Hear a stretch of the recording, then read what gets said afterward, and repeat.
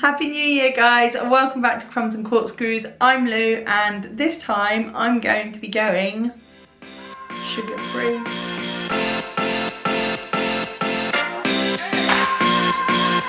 So newsflash, I got a new tripod for Christmas. And it's amazing, it doesn't fall over, it doesn't need weighting, it does what I need it to, it's nice and sturdy. So hopefully, fingers crossed, that that's the end of the wobbly videos and me having um, uh, meltdown over a GorillaPod. So I'm really excited uh, to be able to film a, a video that doesn't require me stacking a camera on several boxes or getting it angled correctly or literally having a meltdown with a GorillaPod. absolutely hate them things. Can't never get the legs back straight. But this one is so cool. I'm so excited. So we're back in the kitchen and avocado brownies. This, as any brownie, is probably one of the simplest and quickest uh, batters to make.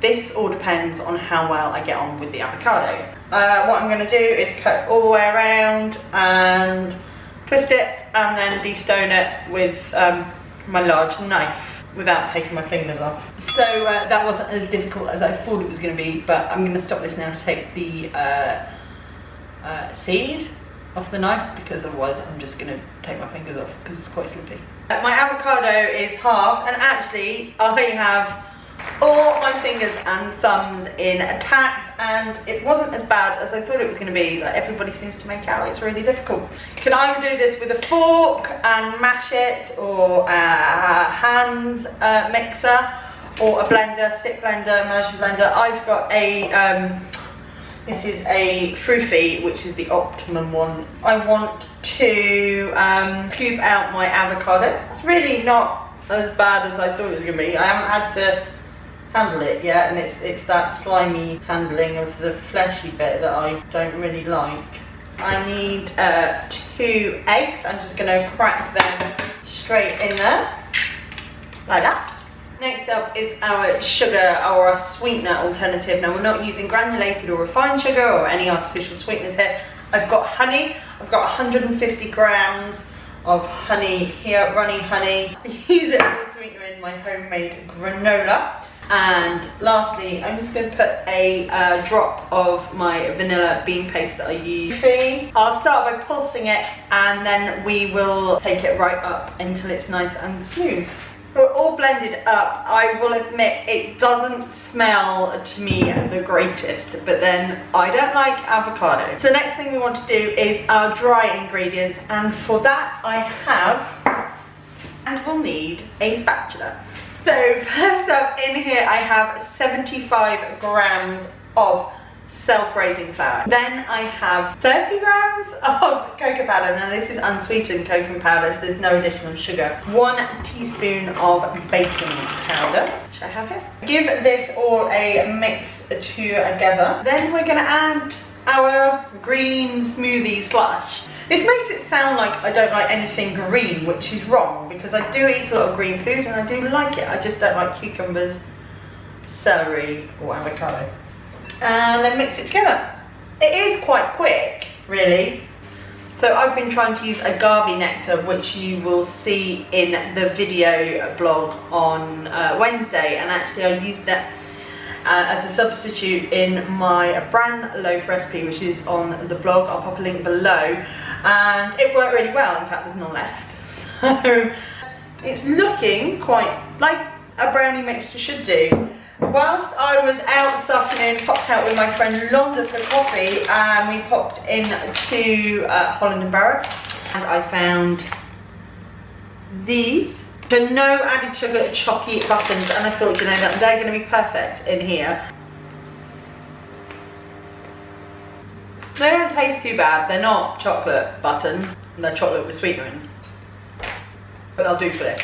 Stir those through. And we're ready to put these into our tin and get them in the oven. Now you could do this in a standard brownie tin. Make sure you line it and then pop it in the oven. You're about 30 to 40 minutes on that one. Because I'm really unsure about using the avocado in this and whether I'm gonna like it, I've decided to make them in my old mini muffin tins and make them as a brownie bites. So um, I don't know how many this is going to make, so we're going to find out now. And with a couple of teaspoons, I'm going to fill each one of these. I've managed to get, so these trays hold 12, 22 and a half. There's a couple in here that look a little bit on the large side, so I'd probably say you get about 24 brownie bites out of that recipe. So going to go into our preheated oven about 180 for 20 to 30 minutes. I am going to keep an eye on these because they are brownie bites, they might cook quicker than that. I can still smell the avocado. I'm not convinced that these are to be nuts yet. But we'll see. Fingers crossed. They're going in now. See you in a bit. And so they've uh, they're, they're they're out of the oven and they don't um, smell too bad. I mean they they look like little little dough bally type things. They probably aren't the prettiest of things going out there, but I did just dollop the uh, mixture into the cake tins. This is the one that was like half of one. Um, so it's, it's, it's not sort of necessarily was never exploded, which I think is probably the baking powder in it. And they don't smell of avocado now, which is um, a, a, positive in my book. Um, the, the test is, is, is what it tastes like. And this is the um, the half one that I did. Um, and I'm, I'm going to try it.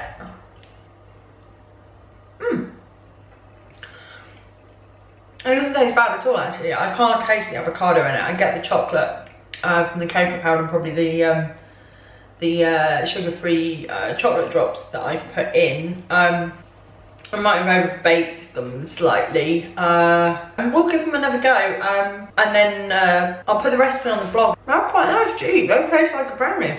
I'd say they're probably they're probably a winner actually. They'd um, take off the chocolate here quite well. Yeah, mm, probably. Mr. Avocado, a resounding yes from me.